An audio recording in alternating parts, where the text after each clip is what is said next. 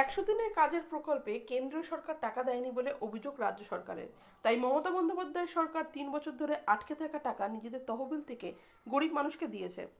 নির্বাচনী প্রচারে তা শোনাও যাচ্ছে। কিন্তু রাজ্য সরকার এই প্রকল্পে টাকা অপচয় করেছে বলে বর্ধমানে এসে নির্বাচনী প্রচারে অভিযোগ করেন প্রধানমন্ত্রী নরেন্দ্র মোদী। এমনকি মনরেগার টাকা দেদার নয় ছয় হয়েছে বলেও বিজেপির নেতৃত্বের অভিযোগ। যার পাল্টা যুক্তি দিয়ে প্রধানমন্ত্রীর আনা সমস্ত অভিযোগ খারিজ করলেন মুখ্যমন্ত্রী মমতা বন্দ্যোপাধ্যায়। একশো দিনের কাজের টাকা নয় ছয়ের অভিযোগ খারিজ করে রাজ্য সরকার সঞ্চয় করেছে বলে জানান তৃণমূল সুপ্রিমো। পুরুলিয়ায় পরপর দুটি জনসভাতেই মমতা বন্দ্যোপাধ্যায় একশো দিনের কাজের প্রকল্পের খরচ নিয়ে তথ্য তুলে ধরেন। আর মুখ্যমন্ত্রী বলেন, কদিন আগে একটা উল্টোপাল্টা বিবৃতি দিয়েছে। একশো দিনের কাজ নিয়ে বলেছিল, কেন্দ্র টাকা দেবে না, কারণ রাজ্য সরকারের টাকা নাকি অপচয় করছে। আমি আপনাদের কাছে নথি সহ বলছি, ওরে মিথ্যাবাদীর দল, চব্বিশ কোটি টাকা তৃণমূল কংগ্রেস সরকার সেভ করেছে। এই মিথ্যা কথা বলার জন্য কান মুলে দিতে হয়। একটা ভোট দেবেন, দুটো কান মুলে দেবেন।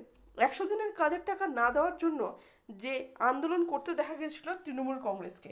নয়াদিল্লির বুকে অভিষেক বন্দ্যোপাধ্যায়ের নেতৃত্বে সে আন্দোলন পৃথক মাত্র পেয়েছিল। রেড রোডে মুখ্যমন্ত্রী মমতা বন্দ্যোপাধ্যায়কে ধর্নায় বসতে দেখেছিল বাংলার মানুষ। তাই পাত্র সারের সভায় মমতা বন্দ্যোপাধ্যায়ের পাল্টা তোপ, একশো দিনের কাজের প্রকল্পের টাকা, বাংলা প্রথম হওয়া সত্ত্বেও তিন বছর টাকা দেয়নি। ওরা বলছে দুর্নীতি হয়েছে। আরে গর্দপের দল, ভাজপা, মাথায় রাখিস, আমরা দুর্নীতি করিনি। আমরা বরং চব্বিশ কোটি টাকা সেভ করেছি, মিথ্যাবাদী মিথ্যুকের দল। একশো দিনের কাজের টাকা আমরা দিয়েছি মানুষকে। একশো দিনের কাজের প্রকল্পে আদালতে বিচারের দিন। কলকাতা হাইকোর্টের প্রধান বিচারপতি পর্যন্ত বলেছিলেন, সবটাই দুর্নীতি হয়েছে এমনটা নয়। যেখানে দুর্নীতি হয়নি, সেখানে টাকা দিয়ে দিতে পরিকল্পনা করা হোক। বাকিটা আলোচনা ও নথি দেখে ঠিক করা হোক। কিন্তু তারপরেও গরিব মানুষদের একশো দিনের কাজের প্রাপ্য টাকা দেয়নি কেন্দ্রীয় সরকার। আর এই ইস্যুতে তৃণমূল নেত্রীর কথায় আমি এত বড় মিথ্যাবাদী প্রধানমন্ত্রী কখনো দেখিনি। মিথ্যা গুরু শুধু মিথ্যা কথা বলে।